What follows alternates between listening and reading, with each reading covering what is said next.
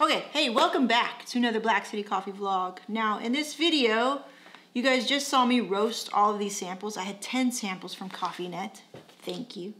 So now we get to do the fun part. We've had uh, a little bit of time for these coffees to rest in their little baggies. Um, I'll b-roll some shots for you on the roast and what they look like, the color, the quality of these greens. And the goal for this is to cup all of these uh, coffees um, against each other and just see. And if we like something, we'll put it on the list for a possible future buy from Cofinet. Now, Cofinet, um, they will be having, I'm in California, they're in Australia. They said they were going to have sort of like a warehouse to distribute to uh, United States in Oakland. So if it's the Oakland I'm thinking of, which is in NorCal, that may be feasible in terms of shipping fees and financial stuff and things like that. But I'll keep you posted on that. So uh, we're gonna get go ahead and get started. I've already have what we're gonna do is uh, break up all these 10 samples into five sections because I only have five bowls. So I have one, two, three, four, five like this. Throughout this whole process, I'll let you know what were the kind of like little things that I saw in terms of roasting each one of these. And it took like three hours, but uh, well worth it. So actually, and then my husband is gonna help me cup some of these so we can get a different palette. Good, we set it up. Let's get started.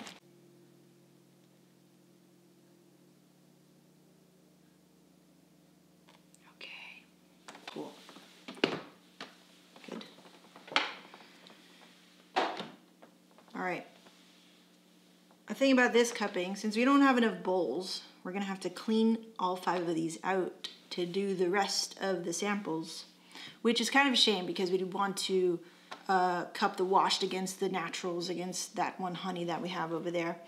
Um, so with that being said, it just means that our note taking, what we write down here is pretty crucial so that when we go back to look at this and we're cupping the naturals, we have still some good things to contrast it against. So while we wait for these guys to brew, I'll let you know again if you didn't get me on that uh, video where we were roasting. Uh, basically, I was doing a preheat of maybe like uh, 300 degrees and then letting the machine come down to uh, 225, 226. The first roast out of the gate was at 230 because it was the first roast and otherwise it was basically a cold machine.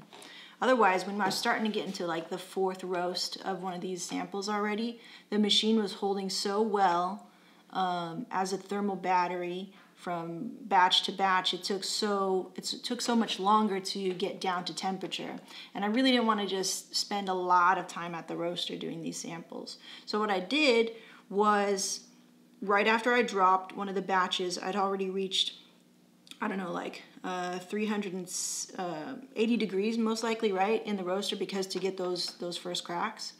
Um, so what I did after I dropped that batch and I was getting ready for the next one so I could roast back to back and not wait so long was I took out the dryer, I opened the door to the to the drum. I have the fan on full, um, the roast air fan, and then I've got the cooling fan of the tray going that kind of sucks a little bit of air.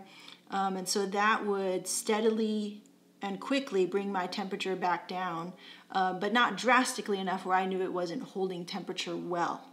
So that really helped. If I left the dryer in there, if I left the um, the door of the drum closed, it would have taken even longer to roast all of these batches. So time is precious for me, so I don't like to waste too much time if I can be efficient. I still love to roast, but I don't like to waste time if I know I can be efficient, especially if I'm going to be doing this more often.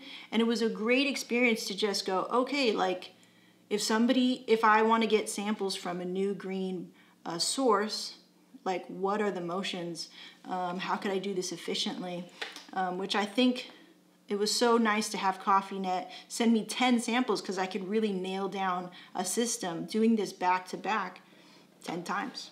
Okay, cool. We have four minutes here. Okay. I also roasted all of these without the use of um, any software. So I didn't have any bean temp or anything like that monitoring on these guys. And I felt like I didn't need to. Um, sometimes I, with this being such a like a non-traditional uh, batch size, I was thinking, well, you know, I really don't want to rely too much on the data. I think it'll be fun to do that next time. Um, but I really wanted to be present and just pay attention and get intuitive with um, what each coffee needed since since each coffee was different and I didn't want sort of that unnecessary, almost distracting data of roast path um, hindering me from actually just roasting the coffee, you know, and paying attention and uh, turning down the heat when I felt like I needed to turn it down. So I think it was also just a good practice in uh, building roast skills and roast intuition, roaster intuition. Okay, I'm just gonna go one at a time because that was a lot to handle at once. No, there's one right there for you. Mm -hmm. Did you want to make notes or you just want a cup or taste? And they're all different? They're all different. And am I choosing like the best one I like? Um, if you want to, yeah. Just see what you get and just taste. So how it's numbered is one, two, three, four, five, like that. Okay, one, two, three. You don't need to do that because it agitates all the shit in there. Oh. Okay. You just go like this, like that, and then dip. Okay? Okay.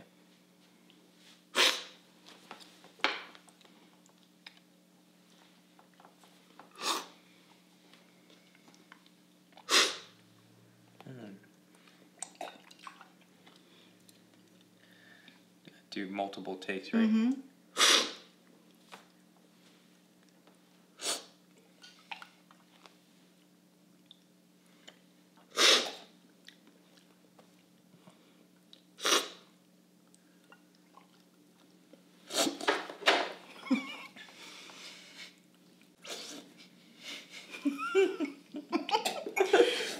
you don't need to be like put just could gently drop it in there.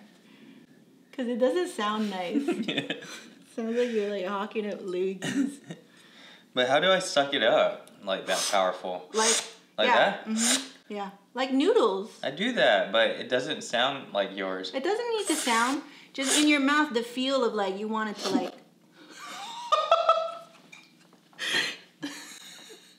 it's like you swallowed a little thing, like. I did that. How, try slowly like this. Mm-hmm. To slowly slow it down first. Yeah. Okay.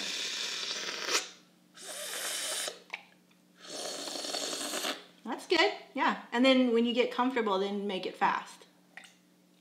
Perfect. Okay, and then yeah. try. Perfect.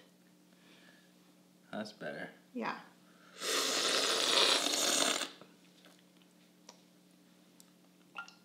And then you can kind of like almost chew it you know, let it kind of like settle around all in your mouth on mm-hmm. your palate, and don't swallow it, and then just then then let it out. Wow, this one's way different from that one, isn't it? Yeah. I can't even describe the taste. Yeah, just keep tasting it and see what comes to you. Ain't bad at it. Good. My favorite, mm-hmm. the most unique, mm-hmm. is number two. Yeah, that's my favorite too. And then the next one will be number one. Number one? Yeah. Interesting.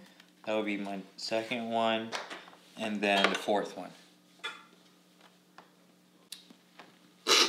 Because I also think it's it's unique in a way that it's like almost like a rich, dry, nutty, dark cocoa with a hint of like red grape skin. Mm-hmm. Like a skin, yeah. Mm. It has that uh, full body Mm. Right? I didn't get that. That's why I got. Tried it, you know, two rounds. Yeah, and then two. the second one I got like a bright orange, like slight of like a milky chocolate. Mm-hmm. Yeah. And that's what I got out of it. It's like milky chocolate and orange. Mm. Bright. Third one wasn't my favorite. It was like flat mm. a little bit uh, sour tomato, dry tobacco. Mm. Uh, fourth one was good. I like that. It was like a lemon tea. Uh, that brings a sourness, and it was like floral in some sense, Mm-hmm. and it's nutty. Yeah. Uh, fifth one, and like Yeah. it's like lemon, cocoa, dry walnuts, and tobacco. Mm. So I'm not a big fan of the tob- the dryness Yeah. of the three and five. Three and five were similar. Hmm. I got a little different. So I thought one was very flat upon first tasting it.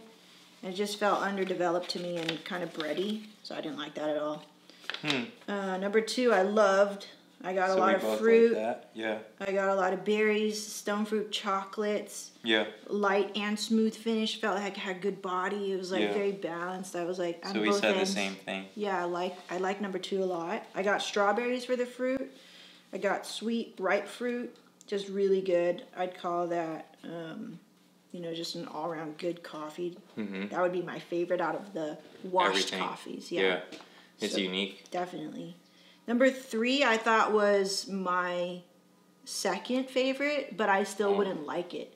Yeah. Not second favorite. I say second best Okay. in the lineup. I'd say for me, I guess in my palate right now, I want I want something balanced, or maybe I'm looking for something balanced. I didn't feel um, it was balanced. though. I felt like it was drier, Yeah. Dry. bitter, flatter than two, but kind Mhm. of like trying to be two, but not reaching it. Okay. I thought it was better than one as I was cupping it, Hmm. um, and better on round two. And I I called it a. For me, that's what it was. But if I were to choose, I would only choose one out of the bunch right now. Number four, very bright citrus fruit. I called it light. I called it tart. Uh, dry, very astringent in the mouth. And if the there is fruit in there besides just lemon, um, I got lemons. I got grapefruits. Um, yeah, just like tart. And I felt empty. I felt it be empty on round two. Like it didn't have any body. It didn't have any. Thing. Number two is the best. Number two is the best. Yeah, yeah. that's cool that we're in agreement on that one. Okay, so number two was. Ba-ba-da-da. It is a Caturra washed, and the grower's name is Nubia Lolita. Mm. Caturra? Smells good. That's just a species, Huh. the varietal. Where's the region? What is that? I don't know. Oindio? Queen Quindio? That's a Q, right? Where is that though? I don't know. We're gonna look that up. I'll research it. I'll put it on the screen for you guys if I can. smells very floral and fruity. smells good, huh? Yeah, it's very fruity. Yeah. So we'll attach that to here. So we like this guy. Yeah. I think it's awesome. That's a good one. Okay. Of the washed coffees, I don't think I like- ever tasted like anything. Something I mean, like around that? here, right? It's just always Ethiopia. And what do you know? This was the first sample that I roasted. Um, for you guys watching, it's a 225 charge. I hit first crack at 848, and then I dropped all of these coffees two minutes post first crack. What's the third one? The third one? The third one was oh yeah, what is second place? We'll look, we'll go ahead and call all these out. So the second place was Javier by Javier Rubio um, from the Tolima region. It was a yellow Bourbon. Cool, I've never tried that before. It's washed and It's it's, not bourbon. Bourbon. Bourbon. Yeah. Uh, anaerobic. So processed, it's wash processed, but also not processed with oxygen. Oh. You want to smell it? That was number three that we liked. Number two is second place. I like number four. Number four, okay. Number four hmm. was. This one's fragrant. Number four like that was tea one. another Caturra Huh. washed from the Nariño region by Tullio Adorno. Wow. So we like this Caturra. I I like number two the best. Number two's best, yeah. Yeah. Cool. All right, break until the natural time. Okay. I usually don't get anything off of the uh, breaking the crust and smelling the the uh, fragrance, but um, that was different. It seemed more complex and more interesting than just wet cardboard. so that is cool. That's interesting. Okay, Let's go ahead and take out these grounds.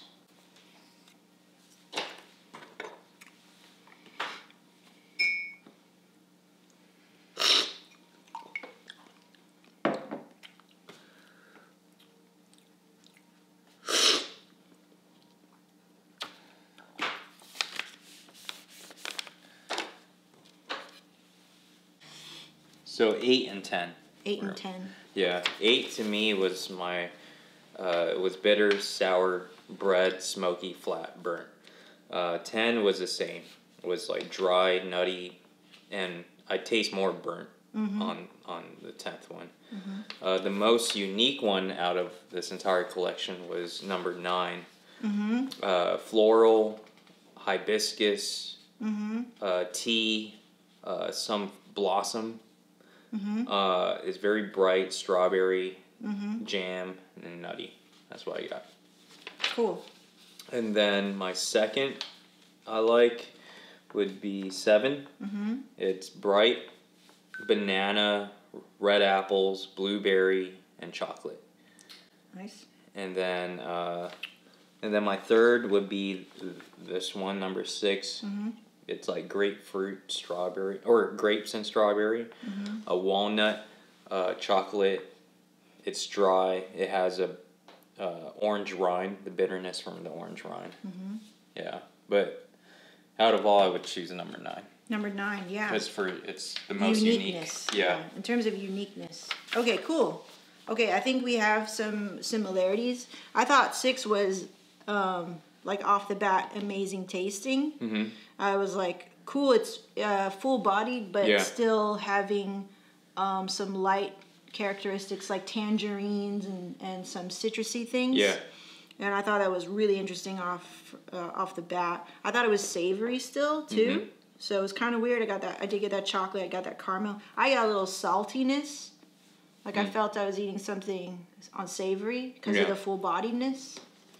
Okay, and then so I liked it. And then number seven, um, I really like that one too. Yeah. Citrus, full bodied again, but still having a lot of um, nice juicy fruit flavors in there. Yeah. Um, still had a, a dry finish, but I thought it was a compliment to the rest.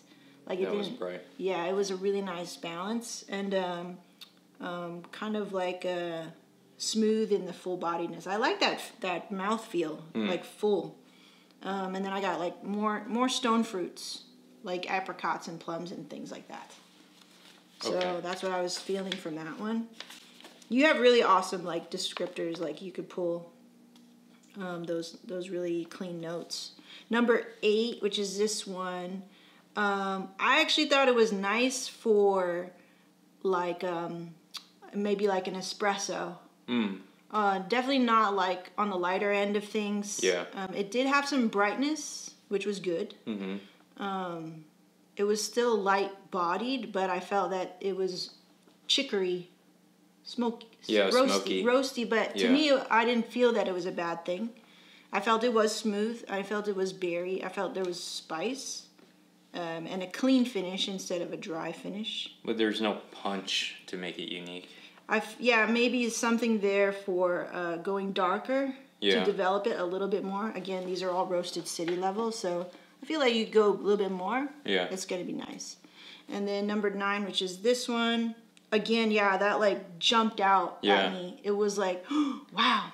It- yeah, it was I was different. like, woo. Uh, citrus fruit, light, um, tea-like body, berries, stone fruit. yeah, I haven't tasted anything you roasted like that. Exactly, yeah. Yeah. Nothing like that. I've never had anything like that or roasted anything like that. I got juicy candy, Mm-hmm. like just like uh, jumped out at me. Starburst, very sweet and sour candy. The astringency to me, it, Yeah. it has a dry finish, like a nice tart dry finish, but it was nice. Yeah. Yeah, like Mm-hmm. I would very say that is the geisha. the geisha. Yeah, you think so? that's why. Let's think. not look yet. Okay, Yeah. so super interesting and nice and juicy on on round two. So it kept tasting really good. Last one, my least favorite of all. Yeah. I didn't like it at all. It was extremely flat, light Mm-hmm. bodied. Um, the fruit in there is just maybe like a dried up apricot. Um, dry, flat, not bad.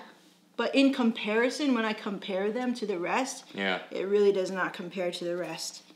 Okay, so Oh, before we look, Nine. Oh yeah. Okay, so now we can reveal.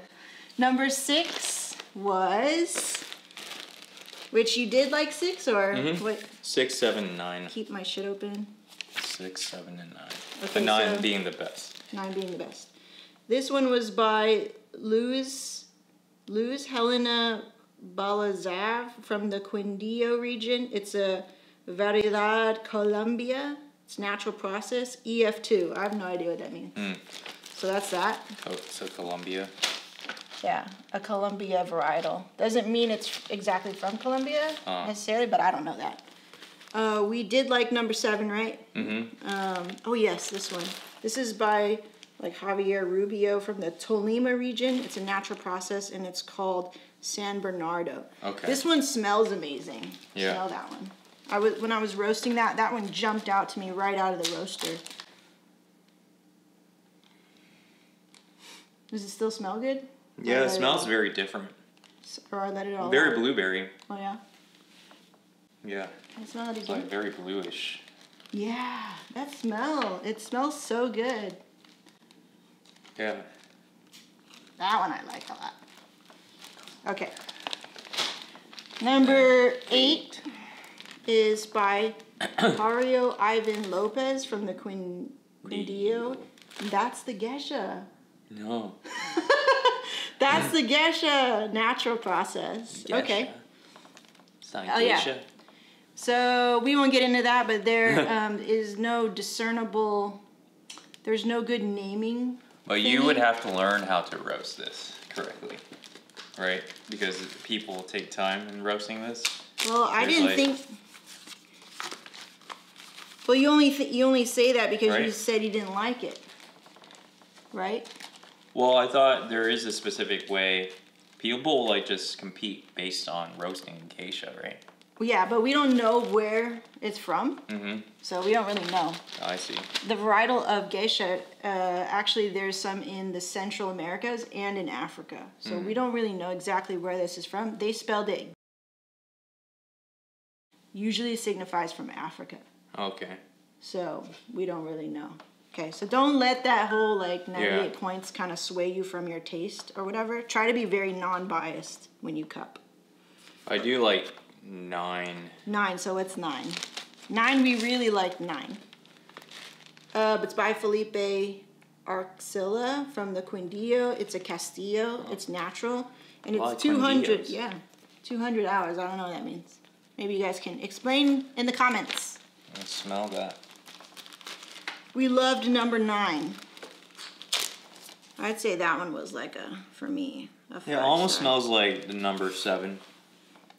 It almost The smells blueberry like one? It. But the number seven has a stronger smell. Mm-hmm. But then the nine has a better taste, Mm-hmm. Yeah, right? Mm-hmm. The the smell, the scent Mm-hmm. it's not of it, as like strong. strong. Yeah. that blueberry thing. Okay, and then I'm sorry, but number ten we did not like at all, which was by Louise Annabelle Cardivon from the Huila region. It's Pink Bourbon and it's honey process. Yeah, you know what? As I've been, I've roasted a couple honeys now, and um, I don't like honey processed coffees. I'm not really into it. Um, but these this natural here, so we like seven a lot from the San Bernardo natural. Okay. And then what Cofinet again as a reminder, and you don't know, but these are all exotic, Hmm. exotic coffees. Oh wow. Yeah, Nine is very exotic. yeah. Nine is very exotic. I really love this Yeah. one. And number two. I gave it a five on my little score sheet. two is exotic as well. two. Yeah. Number two, yeah, we loved two. That was just very good. I really think like seven was lovely, six was lovely. Eight was, you know, I think develop that little gesha a little bit more. Now you should fine tune it by pulling out number 2 Mm-hmm. and number nine, number six and seven, and do it all together. yeah, you're right. We should. Okay. So two, And let him rest. nine, seven, six, and then your other favorite from here. Good idea. Okay. Yeah. So we'll let them rest for um, a little bit longer, and then we'll do that again. Um, to share with you guys what um, in the roaster, what the gesha was. Um, 226 charge. We hit yellow at 414. We hit first crack at 906. So, you know, standard in terms of roasting, um, the development on the beans is good. You know, it's a city roast, two minutes post first crack.